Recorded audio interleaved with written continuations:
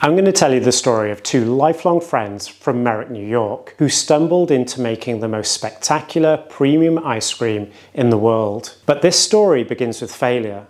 Ben Cohen, a school dropout, dreamt of becoming a potter. While his friend Jerry Greenfield managed to complete college, he was still unable to get into medical school. The not so sporty friends had bonded in gym class when Jerry had fainted. The friendship grew, and with these two rejections, Ben and Jerry decided to do something together. The only rule was it had to be something to do with food. The first idea was a bagel shop, but after costing everything up, it was clear that the cost was too high.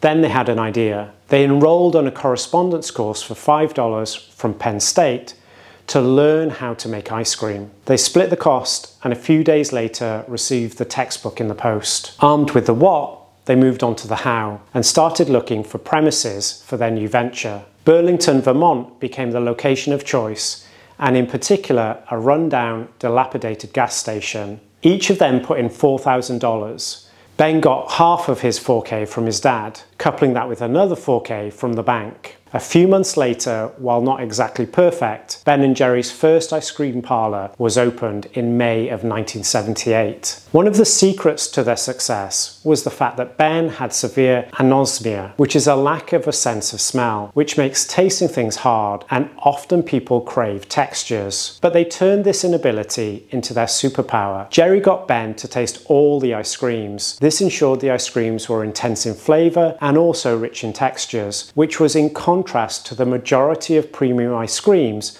on the market at that time. In 1981, their first franchise opened, and by 1984, the big boys were starting to take notice. Market leader in the premium ice cream market was pseudo-Scandinavian named Haagen-Dazs, who were wary of these new upstarts. They were so scared of them that they tried to limit Ben & Jerry's distribution opportunities. Haagen-Dazs, owned by Pillsbury, had a lot of clout and told distributors that if they continued to stock Ben & Jerry's, they would no longer supply their highly profitable Haagen-Dazs brand. In their typical style, Ben & Jerry knew they couldn't fight a $4 billion company in court. So they took their plight to the people and created a campaign called What's the Doughboy Afraid of? They launched advertising, put up signs, and even got t-shirts printed. The campaign got picked up by press, and with this and public pressure, the David and Goliath tale got Pillsbury to drop the distribution restrictions, and Ben and Jerry were able to expand nationwide for the first time.